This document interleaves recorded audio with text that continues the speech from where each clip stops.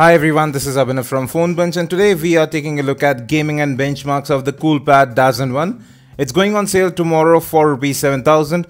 Comes with 2 gigs of RAM, 16 gigs of internal storage, a 64-bit Snapdragon 410. So let's start with the temperature rating, 33 in the front and 33.5 at the back. So at this price, it's competing with the Lenovo A6000 Plus and the Redmi 2U Yuphoria.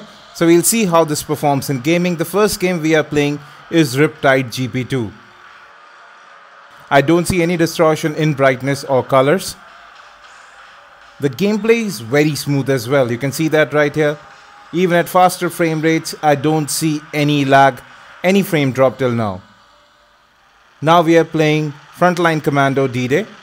Now the speakerphone here could have been slightly louder, but it's not tinny. And here again gameplay is very smooth. Moreover, the display has good color reproduction, adequate brightness as well. Good contrast levels too. I can distinguish between different objects quite easily. No ghosting, no freezing and no frame drops till now.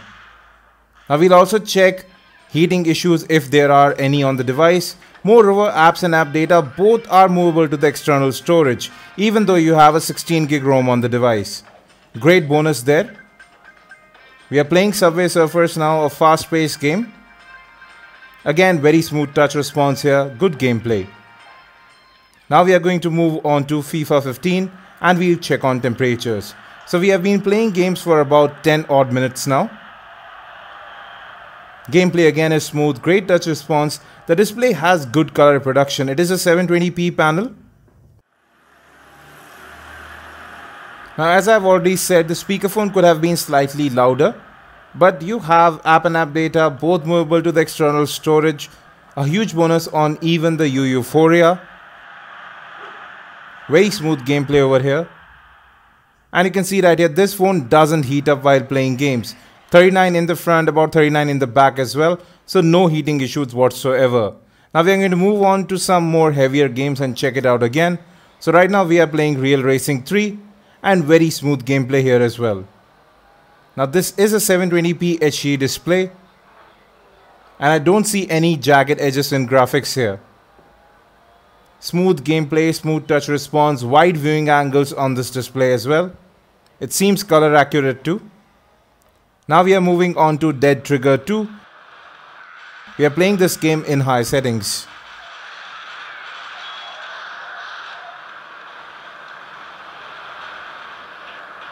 And I do notice slight hint of lag here.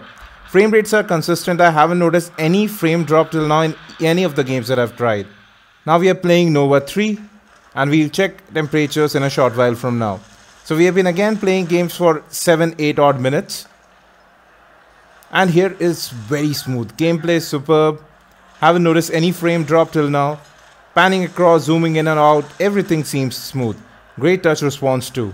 So overall this phone seems a good choice for gamers since app and app data both are movable, you have 16 gigs of internal storage available too and this phone is performing brilliantly at gaming. So priced at rupees 7000, this might be a good choice for people looking to game on a device even for longer durations. Now we are playing Asphalt 8 again in high settings.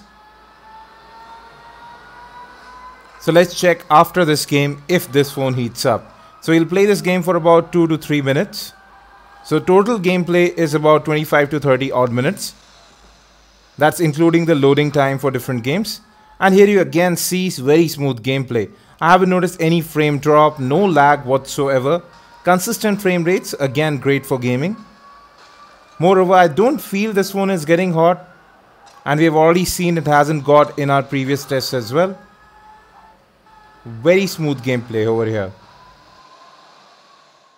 So the race is about to finish. Let's check out temperatures now. So it's about 41 degrees in the front, you can see there, and again about 41 degrees in the back too. It's actually a bit less, so no heating issues with this device whatsoever even after extended gaming. Now we are playing Leo's Fortune. Again colors and graphics do look very good on this display. Now this display isn't as good as the Redmi 2, but seems better than the Yuphoria.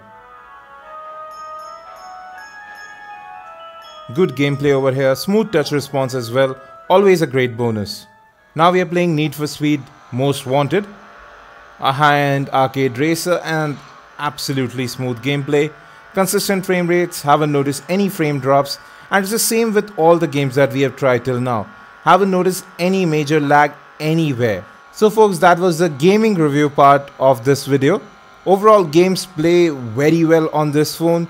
It doesn't heat up while playing games, you have 2 gigs of RAM so multitasking isn't an issue either.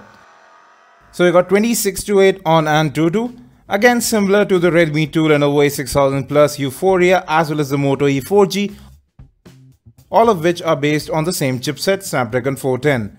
Now we got 52.4 FPS on NenaMark2, but we have already seen that gaming was a non-issue for this device. On Quadrant we got a score of 11391, again similar to the A6000 Plus and Xiaomi Redmi 2, but trumped by the YU Yuphoria, which scored above 13,000. Next up we ran Vellamo, we got a score of 2045, similar to the Redmi 2, A6000 Plus and Yuphoria, and 804 on Metal. Same chipset, pretty similar scores, and we have a 5-point multi-touch display. But if we talk of usability, general performance, I actually found it to be quite fluid. And we also saw gaming was very good on this device. So folks, that was a benchmarks as well as gaming review of the CoolPad Dazen 1. Thanks for watching this video. If you have any questions about this device, do hit us in the comment section and as always, have a great day.